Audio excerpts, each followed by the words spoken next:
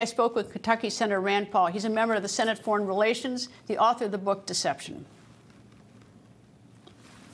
Senator, thank you very much for joining me. And I want to start first with Senator Menendez, not himself, but that the media is asking every U.S. senator, almost as a litmus, litmus test question, whether he should resign or not, and he hasn't even had a trial. So your feeling about this litmus test question gets put to U.S. senators.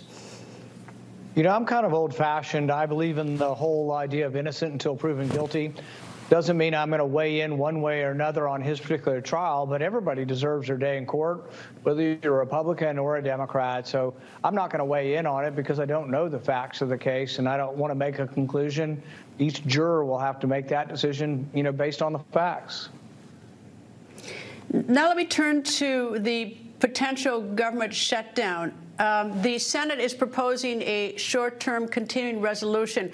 Part of it is um, suggests some funding for Ukraine, and I know that you object to what is provided in that short-term, uh, that continuing resolution. Uh, it's about six and six and a half billion dollars to Ukraine. What is your objection? Well, you know, Greta, we don't have any money. It's not like there's a rainy day fund or a surplus or a pot of gold sitting around here with money. Uh, we borrowed a trillion dollars just in the last three months ostensibly there was a debt ceiling deal, you know, a couple months ago. So we're going to raise the debt ceiling, but we have these caps. Well, the money for Ukraine isn't counted. They just say it doesn't count at all. It'll be counted as emergency, which means it exceeds the cap. So they're already breaking their word on the spending caps.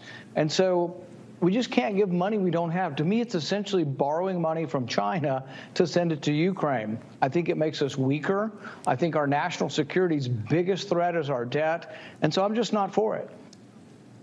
Is, do you know what the money is designated for? I mean, and do we do, are we tracking where the money is going to Ukraine? I know that we've, you know, the United States has been quite generous with Ukraine. Where, where's the money going? Is, is anyone monitoring it? So there's 113 billion that's been given so far, and this has been one of my complaints. There, for, for the Afghan war, there was a special inspector general for Afghanistan called the SIGAR.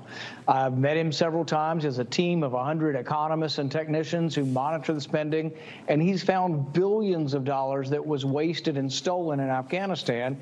He would be perfect for this job. So I forced a vote on this uh, about a month ago and lost, but I think we should have an inspector general monitoring the money. It's the least we can do. I mean, Ukraine has a history of being one of the most corrupt nations in the world. So does Russia, for that matter. But between the oligarchs in both countries, there's a lot of money that's been stolen, and we just can't do it without oversight. And so, no, I don't think there's adequate oversight. But we do know that from official readings and accountings of the 113 billion, about a third of it's being spent not on the military, but on their government. We are paying their government workers. In fact, the most galling thing out of this recent deal is the Biden administration has said if there is a shutdown, they will continue to pay Ukrainian government workers.